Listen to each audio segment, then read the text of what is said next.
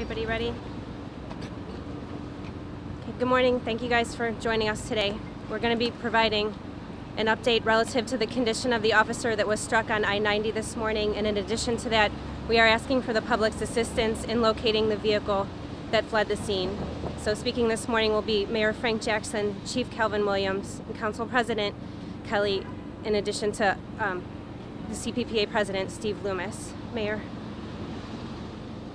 Well, we want to offer our condolence um, to the family of Officer Fahey. Uh, as you know, um, he was struck on uh, I-490, uh, not I-490, but I-90, as he was doing his job and helping to direct traffic around an uh, accident that had occurred there. And uh, his family is here, and we want to uh, let them know that uh, that we support them, that the city of Cleveland is behind them, and we give them our sincere condolences. Uh, Council President. Uh, thank you, Mayor. Um, there's certainly no no words that can make up for the loss of the family, but we just want the family to know, the Fahey family to know that um, we support them. We appreciate the life that was given, the service to service of the city of Cleveland, and understand that um, his whole family has been involved in um, service of the city of Cleveland. Um, the Fahey family, please understand that we we we feel your pain. We love you. We're here to support you, and very sorry for your loss.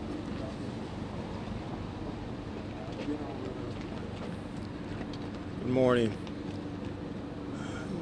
Early this morning, uh, the Division of Police and also this city lost a great public servant. Officer David Fahey lost his life while serving the city. We're going to ask the public's help in finding the person that did this, uh, the person that left the scene of an accident and didn't even check on our officer. Uh, we have information of a vehicle that was involved in this.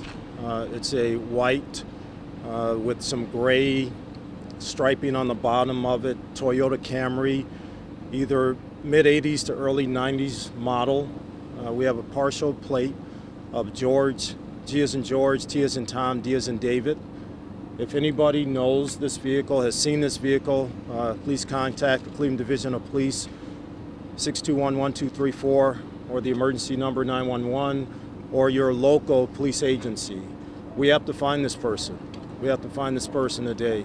Uh, Officer Fahey was out there protecting the city and doing his job and he's not going home to his family. So I ask that you pray for him, uh, pray for this city, pray for his family. But we need to get that vehicle found. If that person's out there, turn yourself in. If not, we'll find you.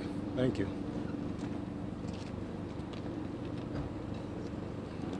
Thank you. Thank you, Chief. Thanks, Chief. Um, I'm just going to ask that everybody in Cleveland keep the family in your thoughts and prayers of this officer. Um, help us find the car, person that's involved in this thing, and uh, keep all the police officers in your thoughts and prayers because everybody's.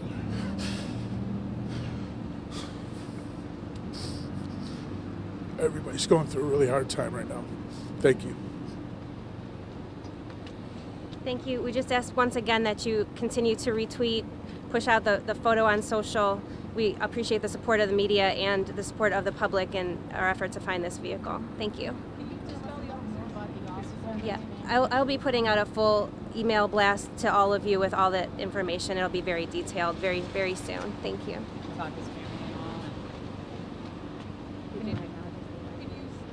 You said he's, whole family was involved in service to the city. Can you just elaborate on that? Yeah, Officer Fahey is the uh, stepson of uh, one of our retired lieutenants, uh, Lieutenant Ketterer, and um, you know his family, his mom, they, they've all been involved in law enforcement here in, in the city of Cleveland for a long time. Uh, so we ask that you kind of give them a little room, and that you continue to pray for them, and that uh, you know we get out here and we bring this person in that did this. Uh, either they turn themselves in, or we'll find them. Thank you.